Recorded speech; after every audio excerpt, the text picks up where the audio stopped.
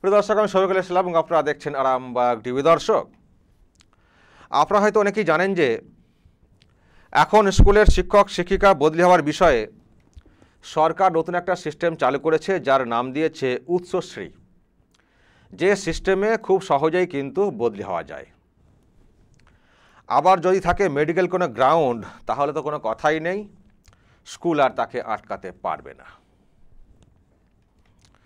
তবে দর্শক, এই সিস্টেমটা চালু হওয়ার ফলে যেমন অনেক শিক্ষক, শিক্ষিকা একটা সুবিধা পাচ্ছেন বাড়ির পাশে বদলি হওয়ার, তবে এর জেরে কিন্তু অনেক স্কুলের পঠন পাঠন কার্যত লাটে উঠতে বসেছে।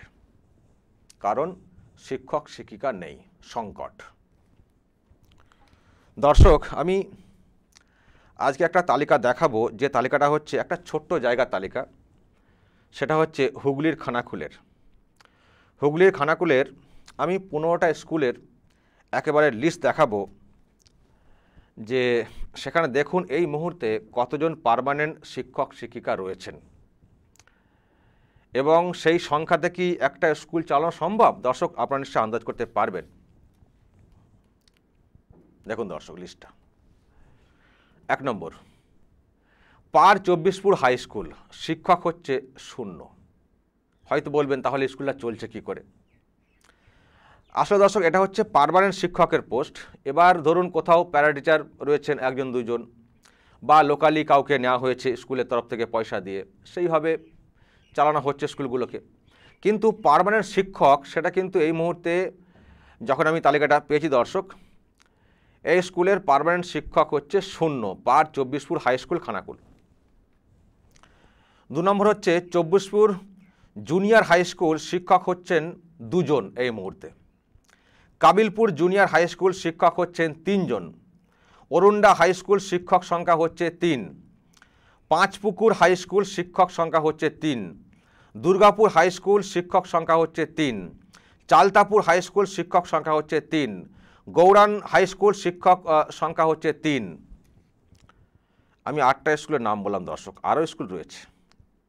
আমি আজকে আপনাদেরকে পনেরোটা স্কুলের নাম বলব, শুধুমাত্র খানাকুল, বুঝতে পারছেন? হুগলির আরামবাগ সাব ডিভিশনের খানাকুল, একটা ছোট্ট জায়গা, একটা থানা। একটা ওই এলাকার স্কুলের জাস্ট আমরা দেখতে পাচ্ছি দর্শক চিত্রটা। ন নম্বর।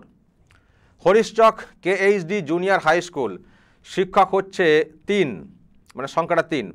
রঞ্জিত বাটি দ্রসতী জুনিয়র হাই স্কুল, শিক্ষক হচ্ছে, শিক্ষক সংখ্যা হচ্ছে দুই। গুজরাট জুনিয়র হাই স্কুল এখানে গুজরাট বলে একটা জায়গার নাম রয়েছে।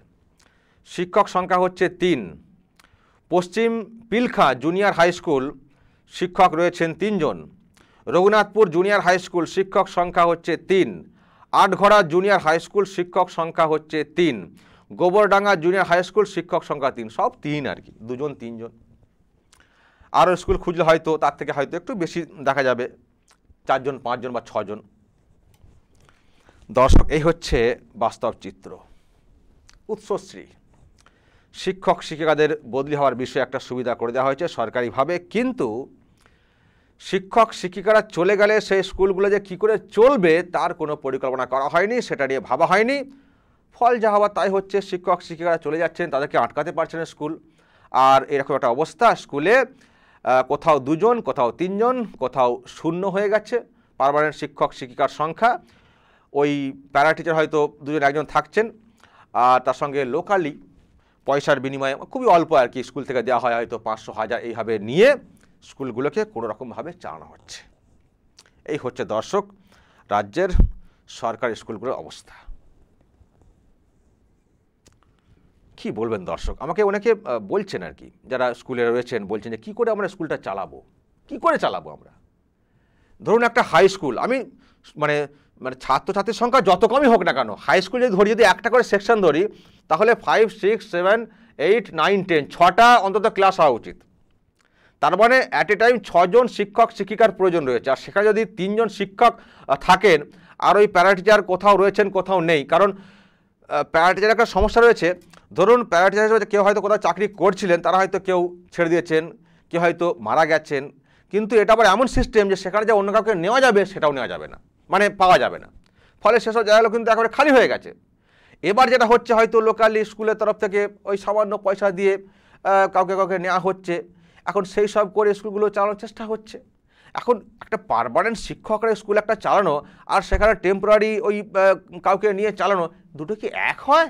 এক হয়, এটা কি সম্ভব?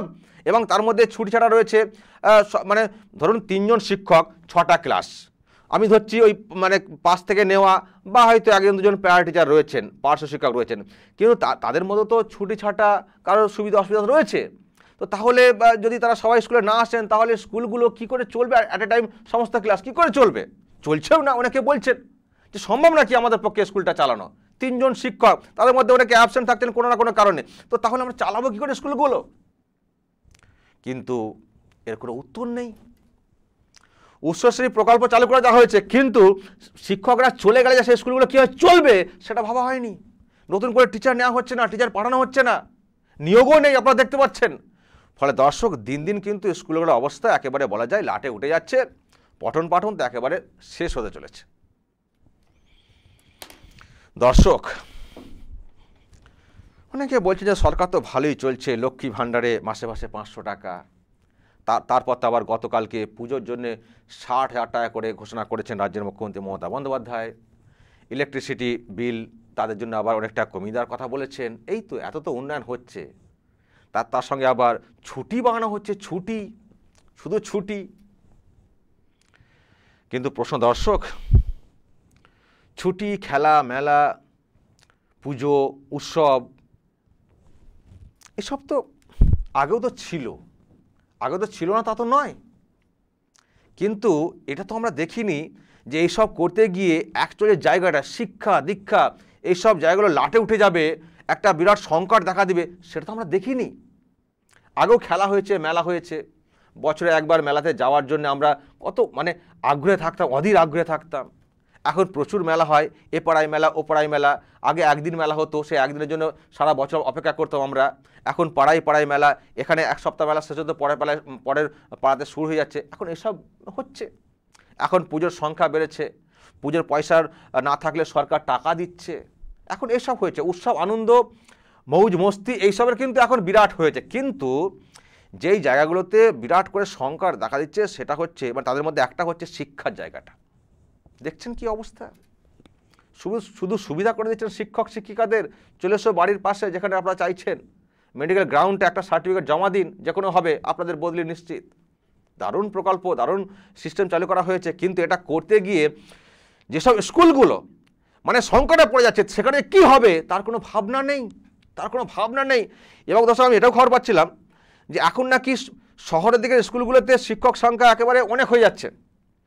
মানে গ্রাম থেকে শিক্ষক, শিক্ষিকা তারা চলে যাচ্ছেন শহরের দিকে। শহরে একটা- একটা বাড়ি করেছেন বাস তারা বদলি হয়ে চলে যাচ্ছেন শহরের দিকে। কিন্তু গ্রামের দিকে প্রত্যন্ত এলাকা, এলাকাগুলোতে সেখানে যে কী অবস্থা তৈরি হচ্ছে স্কুলগুলোতে, সেটা নিয়ে না কেউ ভাবছেন? না, তার একটা কোনো সমাধান হচ্ছে। ফলে মানে শহরের দিকে স্কুলগুলোতে প্রচুর শিক্ষক, সেখানে হয়তো স্টুডেন্ট সে অর্থে নেই। কারণ শহরের দিকে স্কুলগুলোতে বেসরকারি স্কুল রয়েছে এবং বেসরকারি স্কুলগুলোর দিকে এখন তো অনেকটা ঝোঁক বেড়েছে সেটা কিন্তু বাধ্য হয়ে ঝোঁকটা, আমরা দেখছি গার্জেনরা ঝোঁকটা দেখাচ্ছেন, কারণ এই তো অবস্থা সরকারি স্কুলের তো সেখানে বেসরকারি স্কুলের দিকে একেবারে বলা যায় ঝুঁকে পড়ছেন গার্জেনরাও ছেলেমেয়েদেরকে সেখানে ভর্তি করছেন, ফলে সেখানে সরকারি স্কুলে কিন্তু ছাত্রছাত্রীর সংখ্যা কম, কিন্তু শিক্ষক অনেক।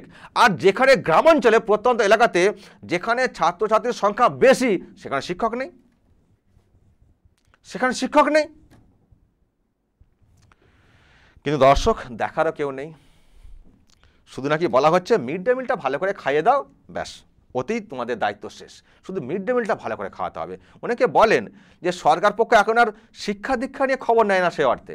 এখন খবর নেয় যেটা নিয়ে, সেটা হচ্ছে মিড ডে মিলটা ঠিক করে চলছে তো, ওটাই তাদের মেন মাথা ব্যথার কারণ। শিক্ষা দীক্ষা ও লাটে উঠে গেছে। ওটা নিয়ে খবর নেওয়ার কোনো দরকার নেই। শুধু মিড ডে মিলটা ঠিক টাইমে হচ্ছে কিনা বা মিড ডে মিলের ব্যবস্থা আবার আবার মিড ডে মিল থেকে জানেন আপনারা। সেখান থেকে আবার অনেক কিছু দেনা পাওনারও নাকি সব অভিযোগ ওঠে। ফলে ওই সব দিকগুলোর দিকে খুব নজর রাখা হয়।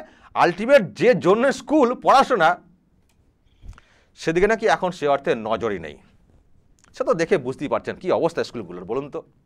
এটা তো আমি শুধু খানাকুলের একটা থানা এলাকা খানাকুল এলাকা থানা এলাকার আমি পনেরোটা স্কুলের নাম বললাম। আমি যদি ভালো করে খুঁজে হয়তো আরও কিছু বেরোবে। তাহলে যদি গোটা রাজ্যের বিষয়টা খতিয়ে দেখা যায়, তাহলে যে কি ভয়ঙ্কর একটা চিত্র সামনে আসবে দর্শক, সেটা কিন্তু আমরা আন্দাজ করতেই পারি। দর্শক কি বলবেন? যদি এসব নিয়ে আপনাদের কিছু বলার থাকে, অবশ্যই কমেন্ট করবেন কমেন্ট বক্সে নজর রাখবেন আরামবাগ টিভিতে